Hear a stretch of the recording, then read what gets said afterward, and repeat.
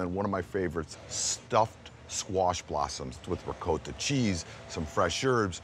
So how gorgeous are these? These are the blossoms that come off, you know, pretty much any squash. W- mm-hmm. We're pulling them off zucchini and yellow squash. We're gonna stuff them with ricotta, lemon, and parsley. So I'll start chopping up some parsley, huh? Okay. I think we could put a whole lemon zest in there. All right. Move these over here.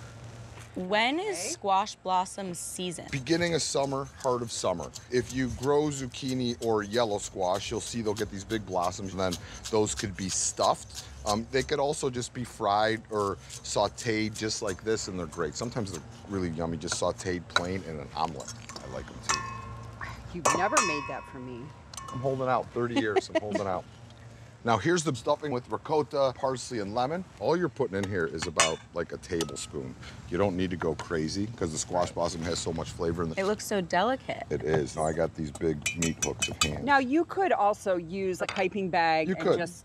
I mean, for me, that would probably be easy. And then I just bundle them up. And so the cheese is right in the middle. I give it a little twist just to kind of secure it. And then I'll just drop them in the flour, the first flour. And then we're just gonna go flour, Ooh. egg, flour for the breading. Do they sell these in the grocery store? Or do I like You can have find to them have in a grocery stores. You can Or find them now. farmers markets, markets. they're mm, all They're, over the place. You know. They are really like almost too pretty to eat. Nothing. Oh, they're not. Way too. Nothing is too pretty to, to eat. I don't think. So you want to try to technically keep one hand dry so it doesn't do this. You don't get like a biscuit hand. To each his own. You're, you're doing a heck of a job. All right, so now I'm just frying in canola. You want to be around 360. If you don't have a thermometer, you could throw breadcrumbs in there. See how the breadcrumbs are like popping? Mm-hmm. I'm in a good temperature with my oil. If it's totally flat when I put them in, oil's not ready. If they explode, then it's too hot. If it's too hot, you could add some more oil to get the temperature Should down. we put a few of these? Yeah, I'm gonna give them one twist, and then these are gonna go right in.